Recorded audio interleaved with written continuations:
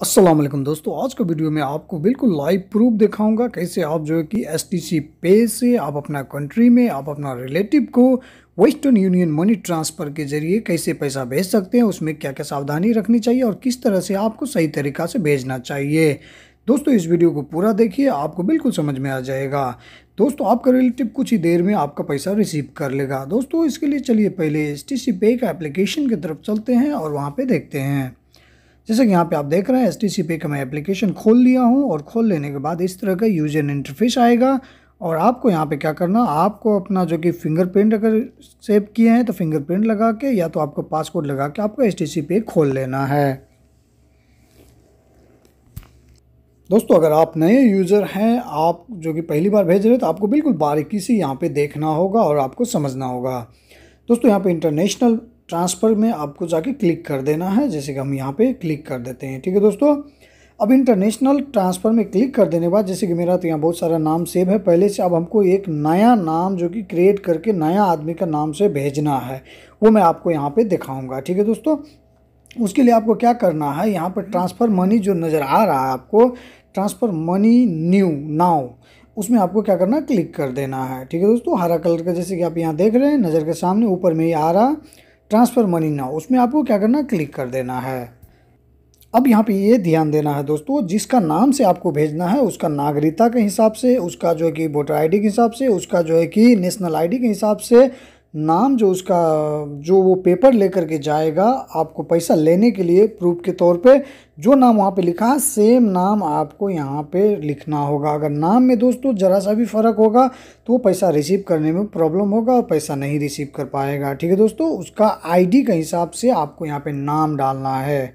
Spelling वगैरह सारा चीज़ correct होना चाहिए। ठीक है दोस्तों? आपको यहाँ पर नाम बिल्कुल करेक्ट डालना है। जैसे कि मैंने यहाँ पर नाम डाल दिया। उसके बाद जो है कि रिलेटिव्स एंड फ्रेंड आपको यहाँ पर सिलेक्ट कर देना है। ठीक है दोस्तों?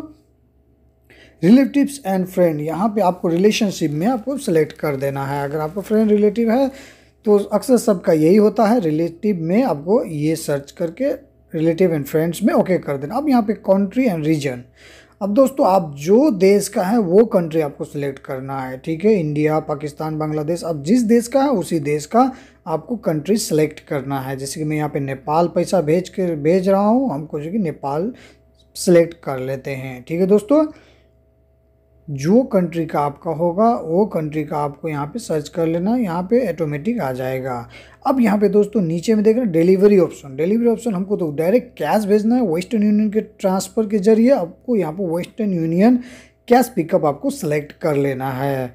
सेलेक्ट कर लेने के बाद प्रीफर करेंसी यहाँ पे नेपाल डालें तो नेपालीज कर रुपीज़ में वहाँ पे पैसा जाएगा और रिसिबल अब यहाँ पे कंटिन्यू करने के बाद दूसरा ऑप्शन आएगा do you know the receiver nationality अब यहाँ पे यस कर देना, जैसे कि नेपाल का तो नेपाली होगा, इंडिया का तो इंडियन होगा, इस तरह से आपको यहाँ पे लिख लेना है। ठीक है दोस्तों? इस तरह से आपको जो कि सर्च करके ओके कर देना है।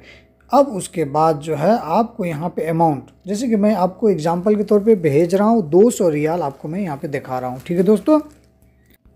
जैसा कि आप यहाँ पे देख रहे हैं, दो सौ रियाल जैसे डायल किए वहाँ पे छः हज़ार दो सौ वहाँ का नेपाली रुपीज़ बनता है। इस तरह से आपको जो कि इतना रुपया जो कि वहाँ पे जाएगा वो रिसीवर को मिलेगा। अब यहाँ पे नीचे देखिए, ध्यान से इंक्लूड ट्रांसफ़र फ़ी अगर हम ट्रांसफ़र फ़ी को इंक्लूड करेंगे तो यही दो सौ रियाल से काट लिया जाएगा। अगर नो करेंगे तो हमारा जो है कि ट्रांसफ़र फ़ी उस पैसा से नहीं काटेगा, हमारा नेक्स्ट पैसा से काटेगा, जो सोलह सत्रह रियाल का जो भी काटेगा, वो आपका नेक्स्ट अमाउंट जो बैलेंस अमाउंट उससे काटेगा। तो यहाँ पे इंक्लूड करना है या नहीं करना, वो आपका मर्ज़ी है। अब यहाँ पे दोस्तों नीचे देख रहे हैं परपोज ट्रांसफ़र में फैमिली सपोर्ट लिखा हुआ फैमिली सपोर्ट सेलेक्ट कर लेना है।